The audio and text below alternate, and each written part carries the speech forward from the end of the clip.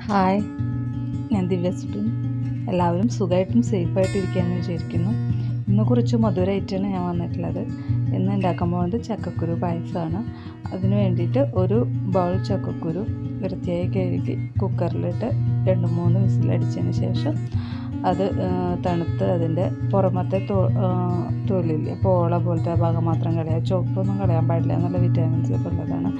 അത് അത് കളഞ്ഞതിന് ശേഷം അത് മിക്സിയിൽ ഒന്ന് അടിച്ചെടുക്കുക. നല്ലതായിട്ട് നൈസ് ആവേണ്ട കുറച്ച് തെരുതെരിയോട് കൂടിയിട്ട് നമുക്ക് അടിച്ചെടുത്ത് അത് മാറ്റി വയ്ക്കുക പിന്നെ ഒരു തേങ്ങ ചിരവിയത് അത് അത് മിക്സിയിൽ അടിച്ചിട്ട് അതിന്റെ ഒന്നാം പാലും രണ്ടാം പാലും മാറ്റി വയ്ക്കുക പിന്നെ ഒരു ആറ് അഞ്ച് ശർക്കരയും കൂടി നന്നായിട്ട് ശർക്ക അലിയിച്ച് ശർക്കരപ്പാനി ഉണ്ടാക്കി വയ്ക്കുക ഞാനൊരു പത്തെണ്ണം എടുത്തിട്ടുണ്ടായിരുന്നു. എനിക്ക് മധുരം കൂടുതലായിരുന്നു.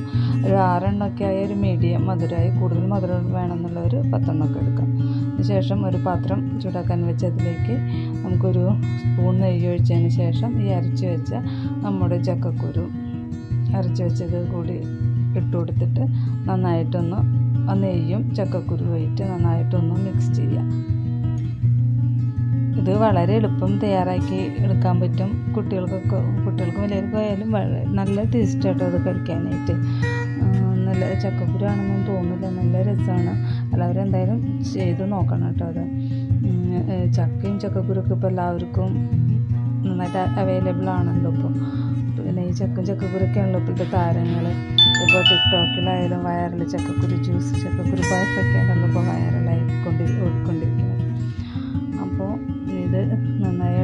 ശേഷം നമുക്കിതിലേക്ക് നമ്മൾ തയ്യാറാക്കി വെച്ചിരിക്കുന്ന രണ്ടാം പാൽ ഒഴിച്ചു കൊടുക്കാം. രണ്ടാം പാൽ ഒഴിച്ചിട്ട് നന്നായിട്ട് ഇളക്കിക്കൊണ്ടിരിക്കട്ടെ. ഇത് നല്ല കട്ടിയിൽ കിടക്കുന്ന കാരണം അടിയിൽ പിടിക്കാനുള്ള ചാൻസ് കൂടുതലാണ്. അപ്പോൾ തുടരെ ഇളക്കിക്കൊണ്ടിരിക്കുക. പിന്നെ ഇത് ഇത്തിരി നല്ല കട്ടയായിട്ടാണ് കിടക്കുന്നത് അപ്പോൾ ആ കട്ടകളൊക്കെ വിടിവിച്ച് ഈ പാലിലേക്ക് അത് യോജിപ്പിച്ചെടുക്കുക. പിന്നെ കുറച്ച് ഉപ്പും കൂടി ഇതിലേക്ക് ചേർക്കാം കേട്ടോ. നന്നായി ഇളക്കിയതിന് ശേഷം അല്ലാതെ ഇതിലേക്ക് ഇളക്കി പിടിപ്പിച്ചതിന് ശേഷം ഒന്ന് തിളച്ച് വരട്ടെ. തിളച്ച് വന്നാൽ നമ്മൾ ആദ്യം തയ്യാറാക്കി വെച്ചിരിക്കുന്ന ശർക്കര പാനി ഒഴിച്ചു കൊടുക്കാം. ഇത് ഇത്തിരി ഈ പായസം ഇത്തിരി ലൂസിൽ എടുക്കാണ്ടോ നല്ലത്? നമ്മൾ എല്ലാം കഴിഞ്ഞ് വെക്കുമ്പോൾ ഇത്തിരി നല്ല ലൂസിലായിട്ടിരിക്കുകയാണെങ്കിൽ അത് ചൂടാറുമ്പോൾ ഇത്തിരി കട്ടി വരും. അല്ലെങ്കിൽ നല്ല കട്ടിയിലാണ് ഉണ്ടാക്കുകയെന്ന് വെച്ചെങ്കിൽ നല്ല കട്ട പോലെയാവും. അപ്പോൾ അത് ടേസ്റ്റ് ഉണ്ടാവില്ല. അത് കഴിക്കാൻ അത്ര രസം ഉണ്ടാവില്ല. ഇത്തിരി കൂടി വെള്ളം പോലെ ആയിട്ടാണ് നമ്മൾ വെക്കണമെന്ന് വെച്ചെങ്കിൽ അത് ചൂടാറുമ്പോഴേക്കും അത്യാവശ്യം നല്ല പാകത്തിനുള്ള കട്ടിയിലായിട്ട് വരും. അപ്പോൾ തേങ്ങാപ്പാലൊക്കെ ഇത്തിരി വെള്ളമൊക്കെ കൂടുതലായിട്ട് ഒഴിച്ചിട്ട് ഇത്തിരി നല്ല ലൂസിലായിട്ട് ഉണ്ടാക്കാൻ നോക്കട്ടോ. അപ്പോഴാണ് അത് അതിന് കൂടുതൽ ടേസ്റ്റ് വരിക. ഇപ്പം അത്യാവശ്യം കുറുകി വന്നിട്ടുണ്ട്. അപ്പോൾ നമുക്ക് തയ്യാറാക്കി വെച്ച ശർക്കര പാനി കൂടി ഒഴിച്ചു കൊടുക്കാം. എന്നിട്ട് നന്നായിട്ട് വീണ്ടും ഇളക്കിക്കൊണ്ടിരിക്കുക. എന്നിട്ട് ഈ ശർക്കര പാനി ഒഴിച്ചിട്ട് നമ്മുടെ പായസം ഒന്നുകൂടി തിളച്ച് വരുമ്പോൾ നമുക്ക് രണ്ടാം പാൽ അല്ല ഒന്നാം പാൽ ഒഴിച്ചു കൊടുക്കാം. അതിനുശേഷം ഒരു നാല് ഏലക്കായും ഒരു ഒരു സ്പൂൺ ജീരകവും ഒരു രണ്ട് സ്പൂൺ പഞ്ചസാരയും കൂടിയിട്ട് മിക്സിയിലടിച്ചിട്ട് ആ പൗഡറും കൂടി ഇതിലേക്ക് വെതറി കൊടുക്കാം. എന്നിട്ട് നന്നായിട്ട് അല്ലാതെ യോജിച്ച് വരുമ്പോൾ നമുക്ക് കുറച്ച് നെയ്യോ വെളിച്ചെണ്ണയോ ചൂടാക്കിയിട്ട് അണ്ടിപ്പരിപ്പ് മുന്തിരിയും വറുത്തിടുക ഞാൻ അണ്ടിപ്പരിപ്പ് മുന്തിരിയാണ് ഇട്ടിട്ടുള്ളത്. അല്ലെങ്കിൽ തേങ്ങ ചെറിയ കഷ്ണങ്ങളായിട്ട് അരിഞ്ഞിട്ട് അതും കൂടിയും ഒന്ന് വറുത്ത് ഇതിനെ ഇതിന് പായസത്തിന്റെ മുകളിലേക്ക് ഇട്ട് ഇട്ട് കൊടുക്കാം കേട്ടോ. ഇപ്പോൾ ഇത് കറക്റ്റ് ലൂസിനാണ് വന്നിട്ടുള്ളത്. ഈ ഒരു പരുവമാണ് പാകത്തിനുള്ളത്. ഇതിനൊരു കട്ടി കൂടിയാൽ ടേസ്റ്റ് അത്ര ഉണ്ടാവില്ല കേട്ടോ. ഇത്തിരി വെള്ളം പോലെ ഇട്ട് പിന്നെ അത് ചൂടാറി വരുമ്പോൾ അത്യാവശ്യം നല്ല കട്ടിയിട്ട് വരും. നല്ല ടേസ്റ്റാണ്. നമുക്ക് പരിപ്പ് പായസമൊക്കെ കുടിക്കുന്ന പോലെ തോന്നും കഴിക്കുമ്പോൾ അപ്പോൾ എല്ലാവരും ട്രൈ ചെയ്ത് നോക്കാം ചക്കക്കുരൊന്നും ആരും വെറുതെ കളയേണ്ട. ഒരുപാട് പോഷക ഗുണ ഗുണങ്ങളുള്ളതാണ്. അതുപോലെ തന്നെ ഒരുപാട് വെറൈറ്റി ഫുഡുകൾ ഉണ്ടാക്കാനും പറ്റും. അപ്പോൾ ചക്കക്കുരൊക്കെ കിട്ടുമ്പോൾ സൂക്ഷിച്ച് വയ്ക്കുക അപ്പോൾ നമ്മുടെ പായസം അവസാന ഘട്ടത്തിലേക്ക് എത്തി. ഇനി അണ്ടി അണ്ടിപ്പരിപ്പും മുന്തിരിയും വറുത്തിട്ടാൽ മാത്രം മതി. പിന്നെ ഒന്ന് ചൂടാറിയതിന് ശേഷം എല്ലാവർക്കും സെർവ് ചെയ്യാം.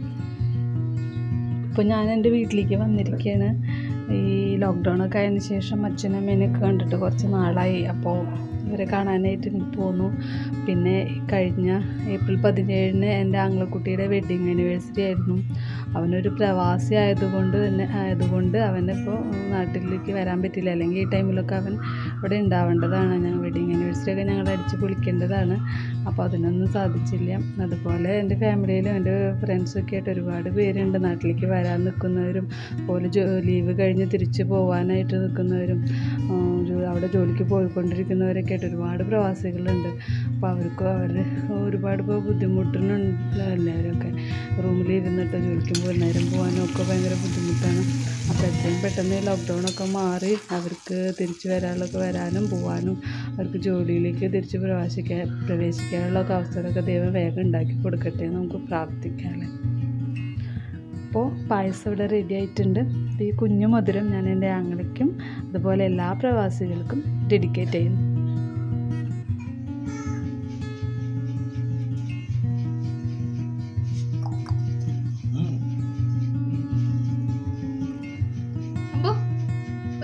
പായച്ചും കുട്ടി രസണ്ടാ നല്ല രസണ്ടാ രസമുണ്ട് അല്ലേ ഓ ഇന്നത്തെ വീഡിയോ ഇത്രയേ ഉള്ളൂ. പുതിയൊരു വീഡിയോ ആയിട്ട് വീണ്ടും വരാം. Bye bye